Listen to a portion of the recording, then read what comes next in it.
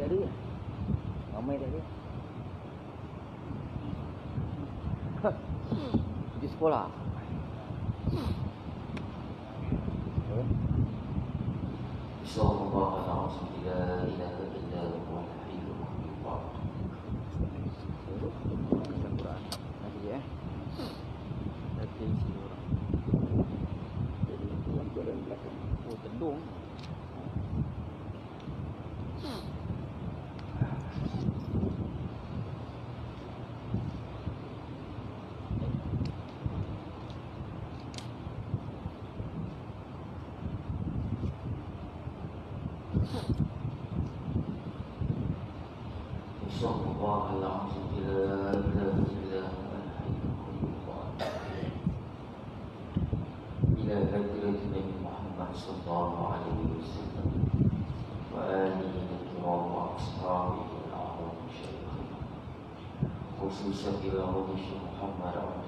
العزيز الصادق الحسن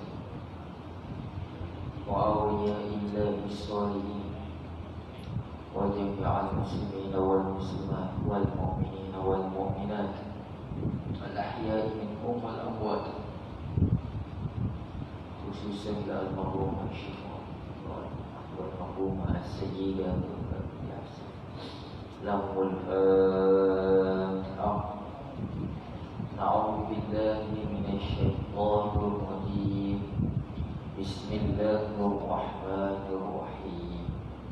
الحمد لله رب العالمين. الرحمن الرحيم. مالك يوم الدين. إياك نعبد وإياك نستعين. اهدنا الصراط المستقيم. صراط الذين أنعمت عليهم غير المغضوب عليهم ولا آمين.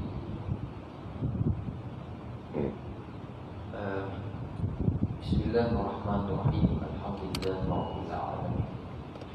والصلاة والسلام على أشرف الأنبياء والمرسلين وعلى آله وصحبه أجمعين. رب اشرح لي صدري ويسر لي أمري. واحلل عقدة لساني يفقه قولي. ولا حول ولا قوة إلا بالله العلي العظيم. اللهم لا سهل إلا ما جعلته سهلا. وأنت تجعل الحزن إذا شئت سهلا. أما بعد. قال المصنف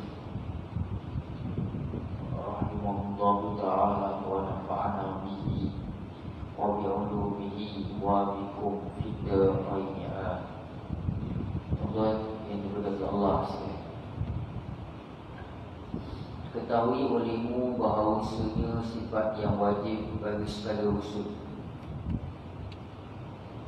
Bahawa isunya sifat yang wajib bagi segala usul. Yang wajib atas tiap-tiap mukallaf Mengenal akan dia dengan tafsirnya itu Tiga sifat jua ha, Ini kita dah masuk dalam bahagian kerasulan Apa kata Tuan Berkata Bahawa sebenarnya sifat yang wajib bagi segala rusul Saya dah terangkan sebelum ni Yang apa perkataan wajib ada perkataan bagi Ini wajib pada akal Bukan wajib pada syarak. Wajib pada akal maksudnya Satu pengaruh Yang akal tak boleh terima Benda Tiada Mesti dia Mesti ada Hakikatnya mesti ada Akal tak boleh terima Benda tu Tak ada. Mesti ada Itu maksudnya Wajib pada akal. Maksudnya Sifat ni Yang dia akan sebut nanti Ada tiga sifat. Dia para rasul mesti bersifat dengan tiga sifat. Ha. Para rasul tidak bersifat dengan tiga sifat ni. Bermaksud para rasul bersifat dengan lawannya. Lawan ni contohnya berbohong, tidak amanah, Maka benda ini mustah, mustahil. Akal tak boleh teri, terima Ketahui olehmu bahawa sebenarnya sifat yang wajib bagi segala rusul. Sifat yang wajib bagi segala rusul Yang wajib atas. Ada dua kalimah wajib. Wajib yang pertama, wajib pada akal. Wajib yang kedua, wajib pada syarak. Masa wajib pada syarak. Buat dapat pahala Tinggal dapat dosa. Ha, Maksudnya wajib kita belajar. Wajib kita tahu. Siapa yang wajib Wajib atas tiap-tiap mukallaf Mukallaf ni dalam bahasa mukallaf ni bahasa Arab. Tapi kita guna juga perkataan mukallaf ni. Asal mukallaf ni bahasa Arab. Mukallaf ni apa terjemah dalam bahasa Melayu? Orang yang dibebani. Dibebani dengan apa? Dengan hukum syarak yang lima. Wajib, haram, makruh, sunat, harus. Kan? Ada beberapa syarat yang dikatakan mukallaf ni empat syarat berakal balik sejahtera bagi indera yang keempat bulu berdakwah sampai seruan Islam bahawa sini sifat yang wajib bagi seluruh yang wajib atas setiap mukallaf mengenal akan dia dia itu balik siapa? sifat yang wajib bagi segala usul. Dia itu balik kepada apa? Sifat yang wajib bagi segala rusul ha, Wajib kita belajar. Ha, Apa sifat yang wajib bagi rusul Kita kena tahu. Kalau tidak baru berusaha. Yang wajib atas setiap-tiap mukallah mengenal akan dia Dengan tafsilnya itu Tafsil ni terperinci tafsir di bahasa Arab, bahasa Melayu terperinci. Dengan tafsirnya itu, dengan terperincinya itu, ada berapa sifat? Tiga sifat jiwa. Kitab ni sebut tiga sifat sahaja. Kitab yang lain sebut ada empat sifat. Kalau yang sebut tiga sifat ni,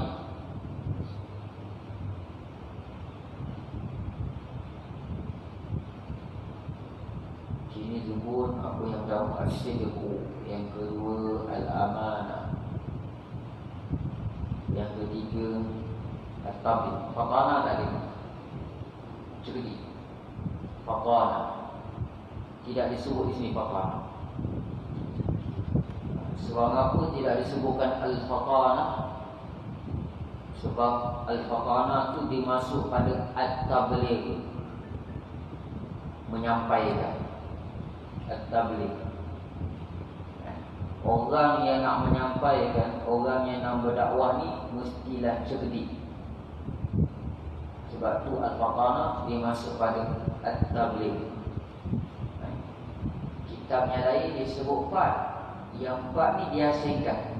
Tabligh menyampaikan al-faqana cerdik. Dia hasilkan. Faham tuan? di sini sebut tiga. Yang keempat tak sebut. Apa yang keempat? Al-Fatana. Al-Fatana itu dia masuk pada At-Tabli. Orang yang nak berdakwah mestilah seorang yang cerdik. Kalau tak cerdik, kacau bilau. Ha, jadi akan timbul masa masalah. Ha, dakwah ni mesti cerdik. Mesti cerdik Macam mana nak selesaikan masalah? Itu kena cerdik Pandai Menyesuaikan ini Tiga sifat dua Pertamanya Asidku Artinya wajib benar. Sidku Benar Jujur. Wajib benar sekalian rusul. Sekalian rasul-rasul. Alaihimus salatu wassalam. Alaihimu ini baca itu alaihimus salatu wassalam. Dan amasuk alaihimus salatu wassalam? Ke atas mereka. Alaihim alaihimus salatu wassalam bahasa Arab. Ha, terjemahan dia alaihim ke atas mereka. Mereka tu balik ke siapa? Para Rasul Alaihi salatu As-salatu Sejahtera. Ataupun rahmat. As-salatu Rahmat. Wassalam Sejahtera. Selawat dan salam Salam sejahtera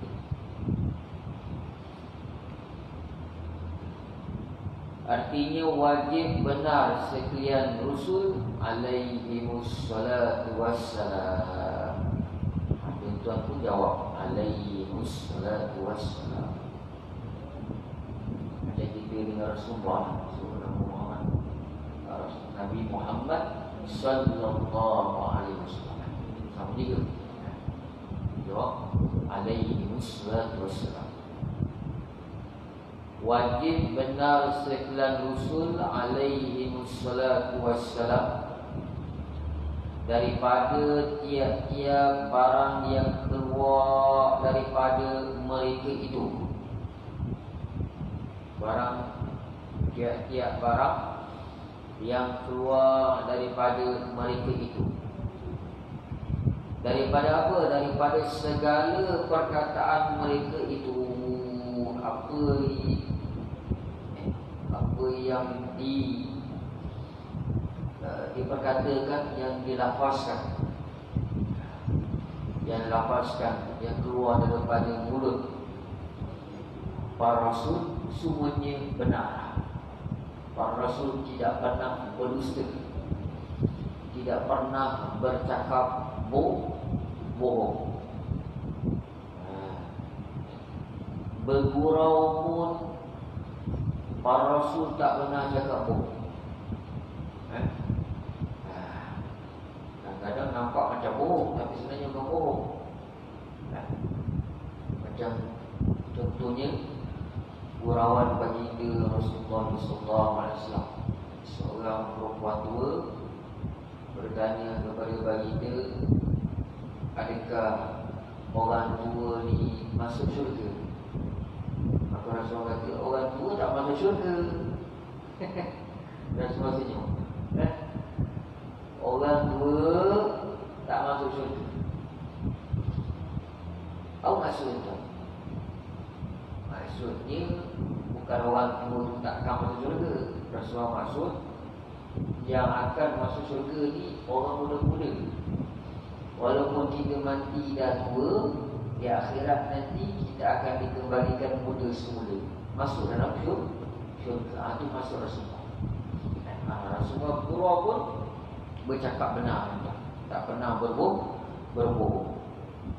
Daripada segala perkataan mereka itu dan segala perbuatan mereka itu ha, apa para rasul buat semuanya menjadi dalil kita boleh ikut ya.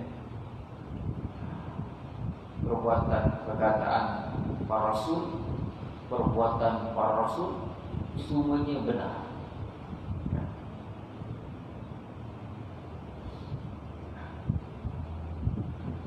tidak pernah para rasul ini buat benda yang hak benda yang haram dan niat mereka itu ha, semuanya jujur sedikit jujur. Sedikit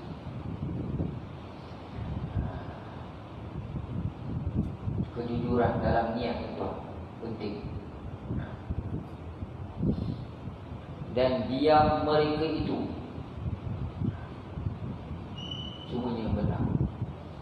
Artinya tuan artinya sekaliannya itu muafakat muafakat maksudnya selari. Muafakat selari barang yang diketahui oleh Allah Taala. Muafakat mereka ni buat segi percakapan segi perbuatan niat yang mereka ni semuanya baik. Tidak pernah Para Rasul bercakap bohong Perbuatan dia pun sama. Ha, Menjadi contoh bagi orang lain. Niat pun sama. Niat berserta dengan perbuatan sama. Ha, Kadang-kadang kita ni berbeza. Niat kerana Allah betul. Tapi perbuatan berbeza. Dia cakap saya niat kerana Allah. Ha, Saya sedekah ni kerana Allah Ustaz tapi cara ni macam tak ikhlas. Itu masalahnya. Ha. Semua orang ni nak beritahu. Dia dah sedekah. Senyap je lah. Apa nak beritahu orang. Ha. Itu ha, kadang-kadang. Niat tu berbeza. Maksudnya percakapan tu tak sama dengan dengan niat. Rasul segi perkataan, segi perbuatan, niat dan diam semuanya sidik. Semuanya benar. Ha, selari dengan apa yang diredai oleh Allah Taala. Artinya sekaliannya itu muafakat bagi barang yang diketahui oleh Allah Taala. Semuanya para sahabat semuanya Allah tak tahu. Semuanya di bawah ilmu di bawah ilmu Tuhan. Dan bagi yang disurat pada Allah Mahfud dan pada dan bagi diri pekerjaan. Ini tuan. Ini sifat yang pertama, sifat yang wajib bagi Rasul. Sifat yang wajib bagi Rasul yang pertamanya asyikku. Lawannya al-kidu Artinya dusta. Dusta. Berbohong. Penipu. Artinya dusta mereka itu Iaitu mustahil. Maksud mustahil? Akal tak boleh terima. Akal tak boleh terima Para Rasul ini Bersifat dengan Al-Qidr Berbohong Habis Setakat ni ada apa-apa soalan yang tuan nak kan? Ramai dah dia Cuti di sekolah. Yang keduanya tuan Yang keduanya Al-Amanah. Al-Amanah. Artinya Wajib kepercayaan Sekalian usul seorang yang aman. Amanah lawan dia pecah aman. Apa yang diamanahkan dijaga semua-semua artinya wajib kepercayaan sekelan rusul. Al-aman. Sebab tu Rasulullah kalau ikut sejarah dia sebelum dilantik menjadi Nabi Rasulullah ni digelar sebagai apa tu? Al-amin orang yang di orang yang amanah orang yang boleh dipercayai Ha, kalau semua pegang duit tu memang memang tak hilang.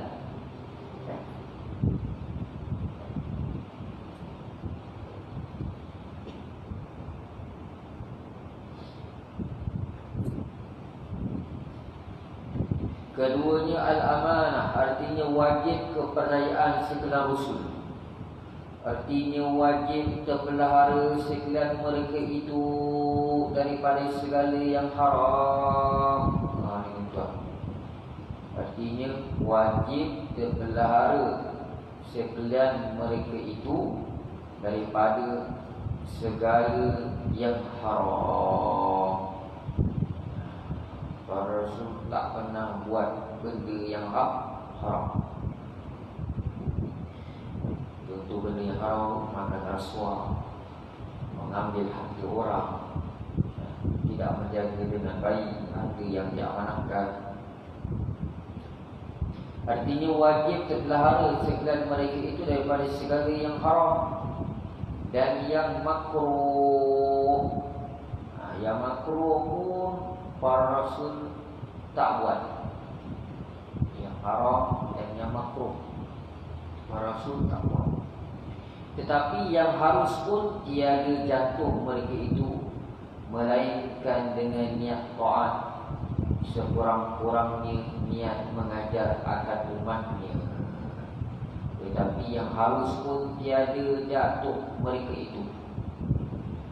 Melainkan dengan niat taat sekurang-kurangnya niat mengajar akan umat perkara yang harus pun uh, Rasulullah Rasul ada buat juga. Ha, tapi niat untuk mengajar kepada umat ini benda yang harus. Contohnya makan, minum, hidup tapi para rasul tidur tidaklah mengikut hawa hawa nafsu. Makan mereka ini perkara yang harus makan macam Rasulullah. Rasulullah makan ketika lapar berhenti sebelum ke lawan al al amanah lawan apa tu? Lawan ni al khiyanah artinya khianat dengan bahawa mengerja mereka itu akan yang haram atau yang makruh iaitu mustahil. Itu lawan al amanah al khiyanah artinya khianat dengan bahawa mengerjakan mereka itu akan yang haram atau yang makruh. Iaitu mustahil. Akal tak boleh diterima akal tak boleh terima.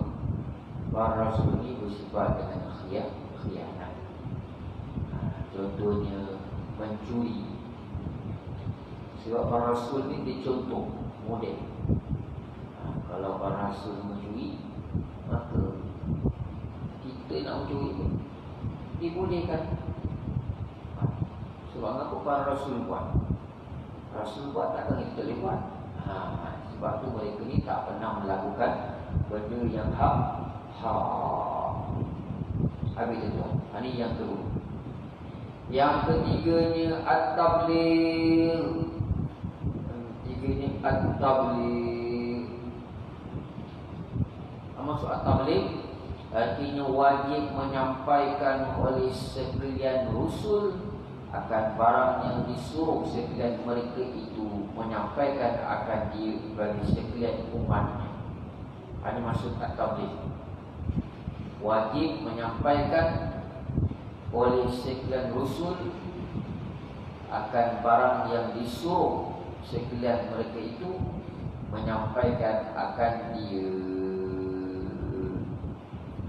akan di, itu boleh macam barang yang disuruh sampai kau ni yang disuruh sampai kan? Ini maksud at-tabligh menyampaikan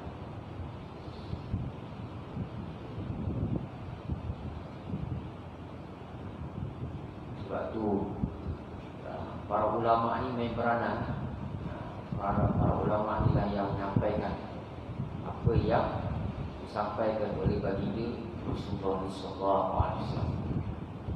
Rasulullah menyampaikan kepada para sahabat, para sahabat menyampaikan kepada tabi'in, ulama tabi'in, ulama tabi'in menyampaikan kepada ulama tabi'at tabi'in.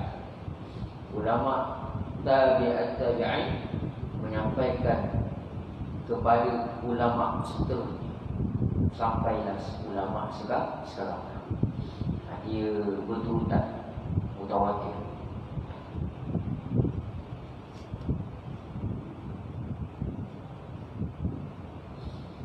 Okey, lawan al-tabligh apa tuan? Lawannya al-kitman.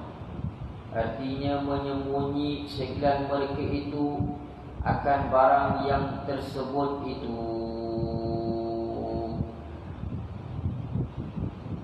Menyembunyi sekalian mereka itu mereka itu ganti nama bagi para rasul.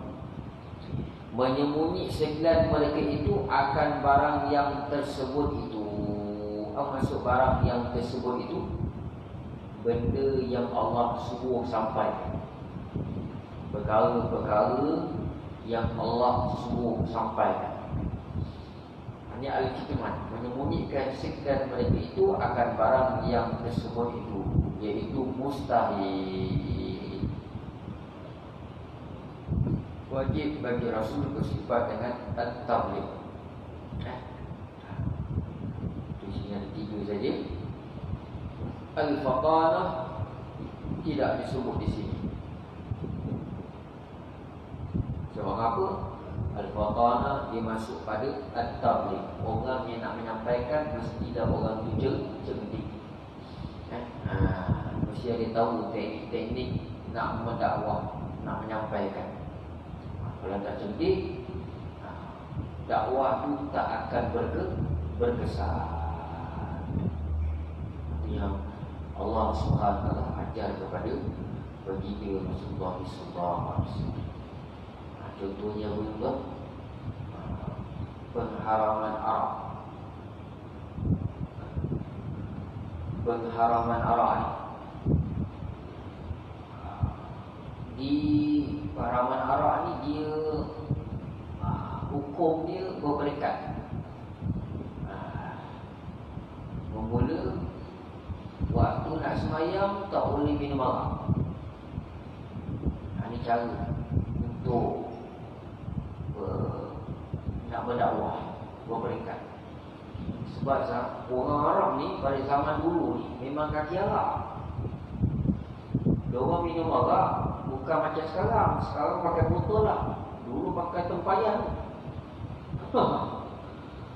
Kalau kita harapkan terus, takut orang tak boleh terima. Ha, sebab tu kalau dia dalam Quran, ayat berkenaan dengan pengharaman arak ni ada tiga ayat. Ha, nak minum arak boleh. Tapi bila nak semayang, jangan. Jangan minum. Lepas semayang boleh minum. Tapi bila nak semayang Jangan minum apa Sikit mereka mereka Dan sekali baru diharapkan Arab Secara total Selatu kuatus Ini cara dakwah tuan Kalau diharapkan terus Takut orang Arab ni tak boleh terima Islam ha, Sebab kalau ikut sejarah Memang orang Arab ni Pada zaman jahiliah Memang dia punya minum pada setiap tadi Bukan pakai botol, pakai terbayar. Tapi segi Islam Agama yang rahmat Diharapkan Arab ni selalu berberi Memberikan Itu perlukan apa? Dia harus semua ajar uh, Bagi diri supaya Pandai Menjadi seorang yang cerdik Dalam berdak berdakwah itu Ini Ustaz Ini Tuan Imam Ini pendakwah Da'i Mesti ada ilmu Jangan suka menyampaikan Tapi tak ada ilmu Bermasalah.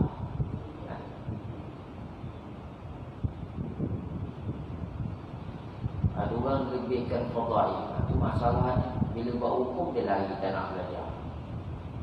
Fadai Bukan kata saya nak menyalahkan Fadai itu Baca kitab kita ada sebagaimana dengan apa? Masalah kelebihan-kelebihan. Apa sebagainya baca tak ada masalah.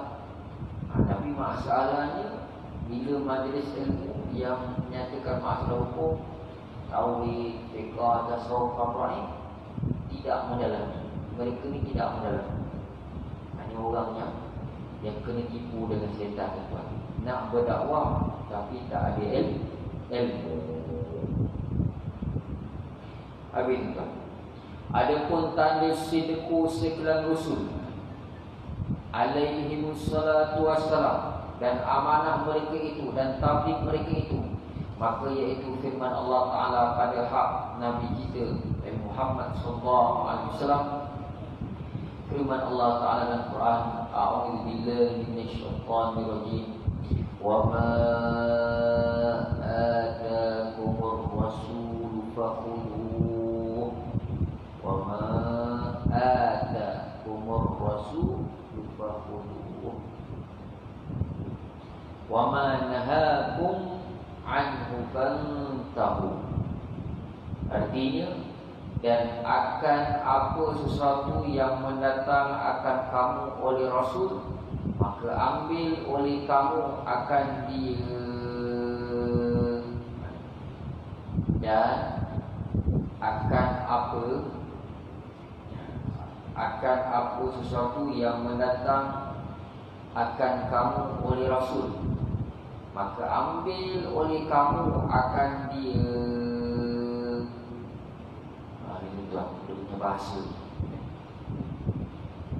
boleh faham dan akan apa sesuatu yang mendatang akan kamu oleh Rasul Siapa yang menyampaikan? Rasul ke kita? Ha, Rumi kita terjemah Akan kamu oleh Rasul. Akan kamu oleh Rasul. Akan tu dalam bahasa Arab dipanggil Maf'ulubih dalam ilmu nama Benda yang kena buat. Oleh jadi fa'il pembuat.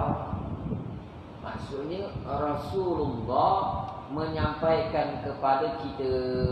Sampaikan apa? Perkara-perkara yang Allah suruh sampaikan. Itu tuan kena faham ayat ini boleh faham tuan oleh itu jadi maka yang menyampaikan adalah Rasulullah. Rasulullah sampaikan kepada kita. Sampaikan apa? Perkara-perkara yang Allah suruh sampaikan Dan akan apa sesuatu yang mendatang. Maksud yang mendatang yang sampai. Akan kamu oleh Rasul Maka ambil oleh kamu akan dia. Fahulu ambil. Maksud ambil Kita amalkan. Rasulullah suruh kita sembahyang. Kita kena Rasulullah kata nak sampaikan kepada kita jangan berzina. Kita jangan berzina. Itu maksudnya ambil oleh kamu akan di dan akan apa sesuatu yang menegak ia akan kamu maka jauh oleh kamu akan dia dan akan apa sesuatu yang menegak ia akan kamu lebih cepat.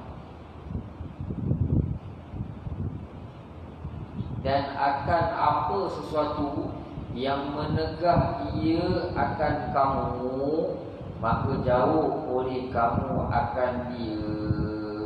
Maksudnya tuan Apa yang Rasulullah tak suruh Apa yang Rasulullah larang Kita kena jauhkan.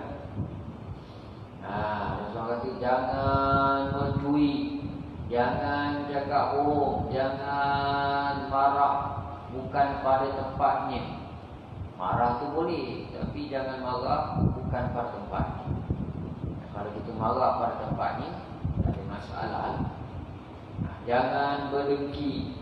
Nah, Banyak tuan Jangan riak Jangan sum'ah. Ini perkara yang dilarang.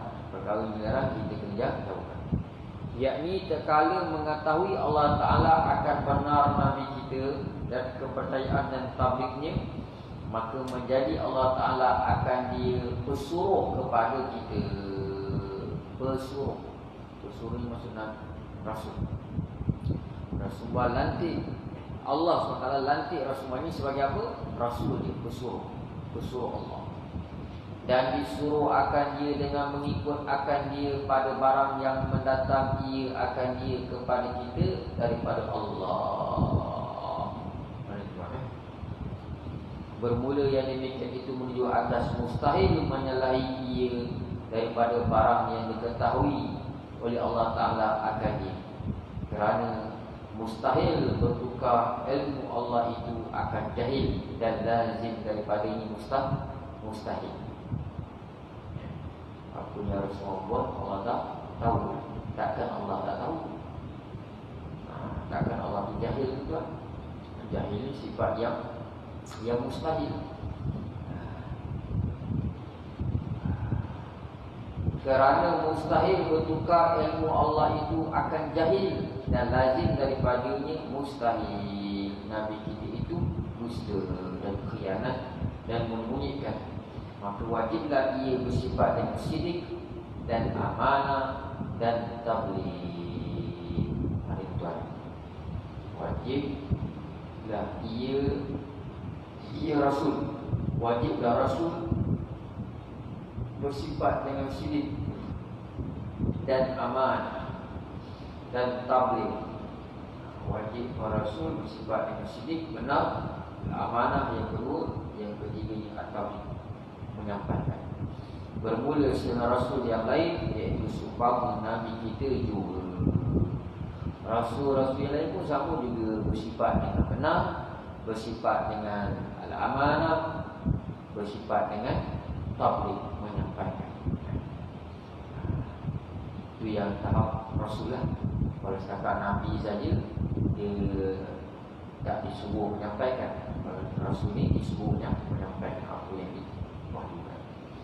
Dan ada pun yang harus pada zat mereka itu Alaihissalam Allah Jadi kita akan sambung kepada Bismillahirrahmanirrahim. Wal asri insana fi khusr illa illa alladhina amanu wa 'amilus salihati wa tawasaw ودوم على ذكر ربه حقيقة تكون من المتبع والمتبع يسلك لا إله إلا الله لا إله إلا الله محمد رسول الله عليه الصلاة والسلام